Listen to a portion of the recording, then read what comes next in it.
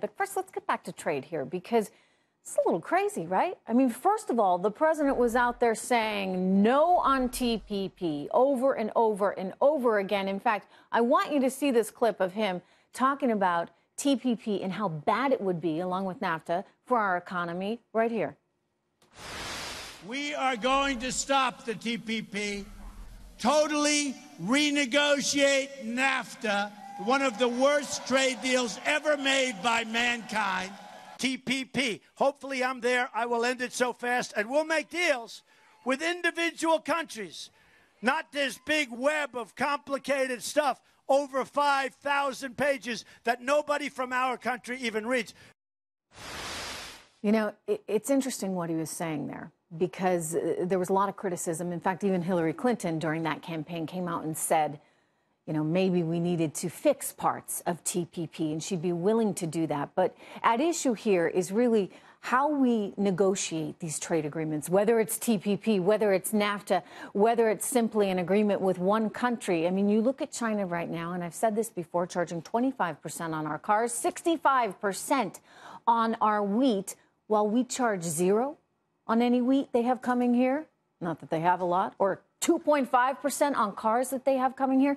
These agreements, they don't work for both sides. I mean, there may have been a time when we figured China was small enough, its economy was small enough that they weren't a threat.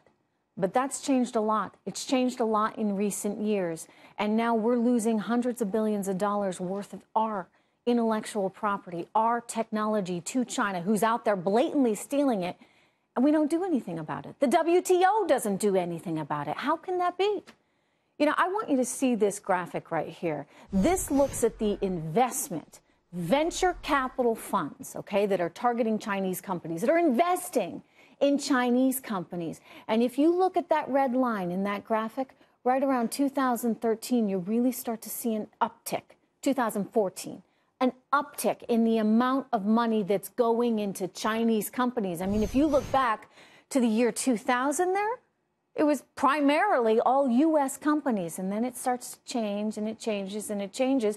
Uh, you know, back in the early part of the last decade, you saw that we were only investing a minimal amount, or the venture capitalists were only putting a little bit into Chinese companies.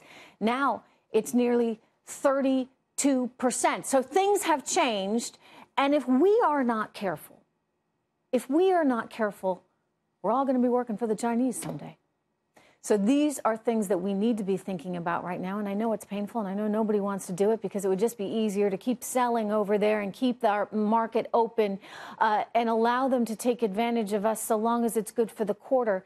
But if it's not good long term, then we have a problem.